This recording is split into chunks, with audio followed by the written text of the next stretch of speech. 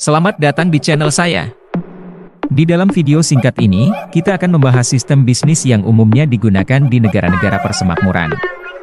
Yuk, simak penjelasannya, sistem bagi hasil awal, di negara-negara persemakmuran, sering kali bisnis dimulai dengan sistem bagi hasil.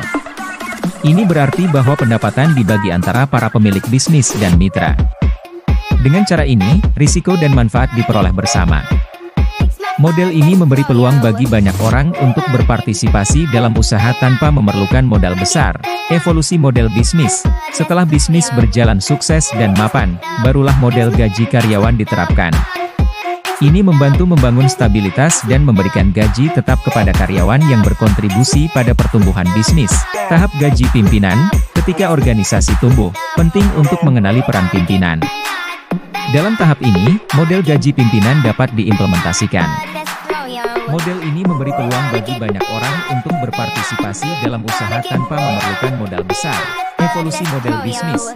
Setelah bisnis berjalan sukses dan mapan, barulah model gaji karyawan diterapkan. Ini membantu membangun stabilitas dan memberikan gaji tetap kepada karyawan yang berkontribusi pada pertumbuhan bisnis. Tahap gaji pimpinan, ketika organisasi tumbuh, penting untuk mengenali peran pimpinan. Dalam tahap ini, model gaji pimpinan dapat diimplementasikan. Kesimpulan, jadi, inilah gambaran umum tentang evolusi model bisnis di negara-negara persemakmuran.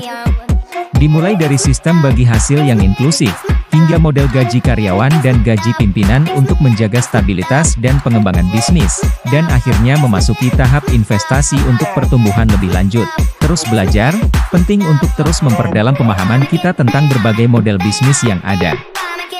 Dengan pemahaman yang lebih baik, kita dapat mengambil keputusan yang lebih tepat dan berkontribusi pada pertumbuhan ekonomi yang berkelanjutan. Terima kasih telah menyempatkan waktu untuk menonton video pendek ini.